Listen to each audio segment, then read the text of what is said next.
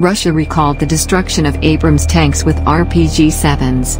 American Abrams tanks did not perform well during the Iraq War, as they were easily destroyed by Soviet-style grenade launchers. This was said by the Russian political scientist Mr. Semyon.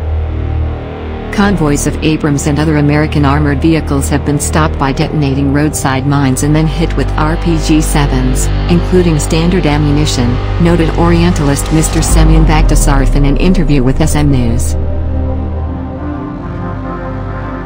The side armor penetrated quietly and lightly, the crew and troops were destroyed, Bagdasarov said. Earlier, Turkey accused the U.S. authorities of seeking to threaten most countries in the world and called this method of foreign policy Washington. The U.S. will deliver 31 Abrams tanks to Ukraine by the end of 2023. 187 Leopard 1 tanks allowed by Germany for re-export, and 14 Challenger 2 units pledged by London to Kiev. According to sources in the U.S., the manufacturer of Abrams General Dynamics is ready to increase its production if Washington wants to increase the supply of tanks to Ukraine. General Dynamics announced that it could force one of its factories in Ohio and produce 12 tanks a month for the needs of the Ukrainian army. Washington promised Kiev that 31 tanks would be delivered by the end of the year.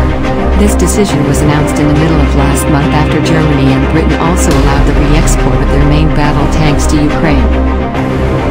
However, Washington emphasized that it will take time to deliver the Abrams tanks. The Pentagon is not committed to exact deadlines.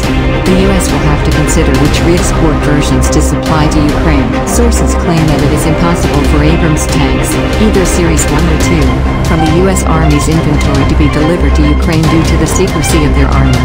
Most likely, U.S. analysts say, Ukraine will receive deeply crippled Abrams tanks.